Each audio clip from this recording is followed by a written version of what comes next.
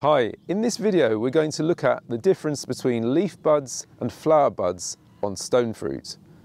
This tree is called Oullin's Golden Gage and it's reputed to have the best flavour of all the green gages. It's like a yellow plum and if you look carefully it's got a good balance between leaf buds and flower buds and the leaf buds form on this year's growth and last year's growth and you can see them here they're little green shoots just poking out there's just starting to break and this is forming on quite an old twig but as we go up higher you'll see there are flower buds which are forming at the ends of those twigs and on older wood. And the whole tree is in blossom and has got plenty of flowers which will lead to the fruit. And at the very ends of those branches, we've got last year's twigs, which is where you'll see more leaf buds. Let's go and have a look at a second tree, which is Shropshire Prune Damson.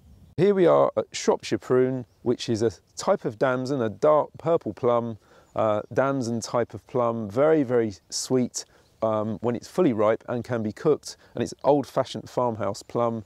And you can see the buds on here are just opening and the leaf buds on damsons are a little bit smaller, they're a little bit sharper and they're there at the front.